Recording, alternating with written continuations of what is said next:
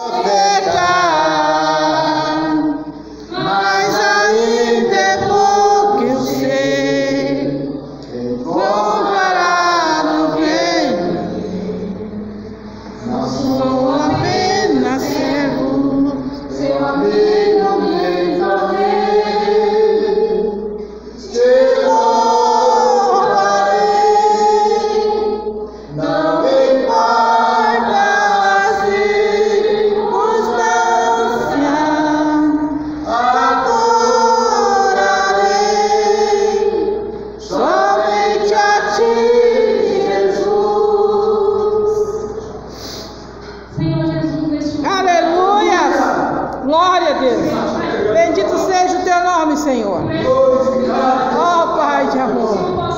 Abençoa, Deus querido.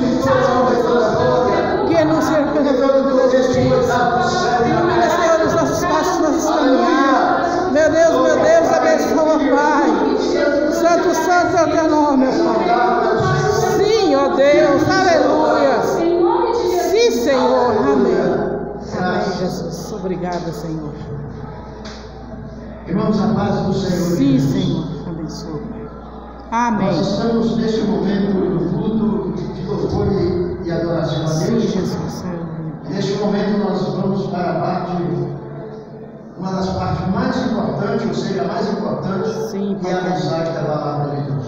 Sim, ó Eu não vou Deus. tomar muito tempo, a mensagem ela é, ela é uma mensagem que quando prega ela é muito longa, mas hoje eu vou fazer ela abreviada. E nós vamos ler Isaías capítulo 6, começando pelo versículo 1. Isaías 6, versículo 1. Lembrando, aquele é o verso da mensagem, que eu estaria abreviando, apenas falando o necessário dentro do nosso tempo, porque o nosso tempo também está passando. Nós temos um limite de horário, né?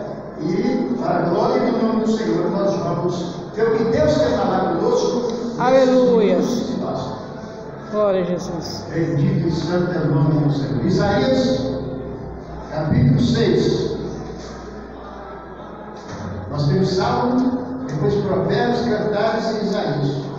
Os Eclesiastes, né? Cantares e Isaías. Isaías é um dos profetas maiores, um dos seis profetas maiores. Bendito é o nome santo do Senhor.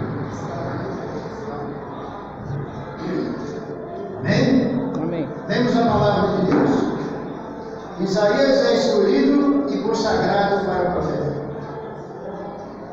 No ano em que morreu o rei Uzias, eu vi o Senhor assentado sobre o alto e sublime trono, e o seu século preenchia o templo, e os serafins estavam acima dele, cada um tinha seis asas. Com duas cobriam os seus rostos, e com duas cobriam os pés, e com duas voavam.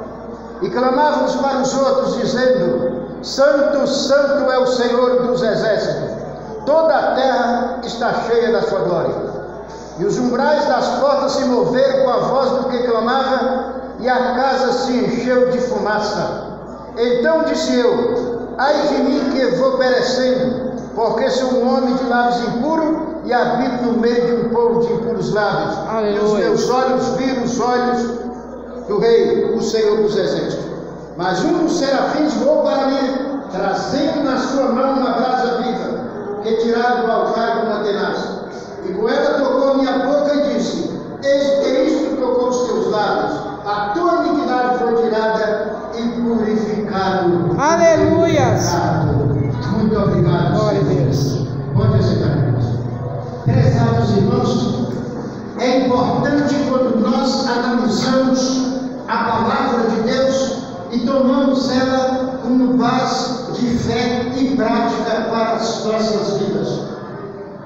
Dificilmente uma pessoa que está envolvida com o negócio desta vida, ela consegue ficar direcionada no projeto de Deus.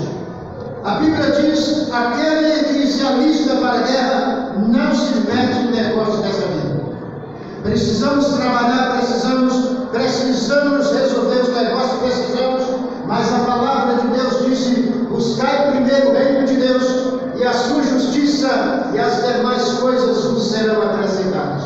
Nós temos aqui uma coisa importante, eu poderia descrever todo é, é as características dessa mensagem, mas o nosso tempo não permite, vou abreviar como já disse, mas uma coisa não posso deixar de dizer, é que Isaías ele era uma pessoa muito chegada do rei.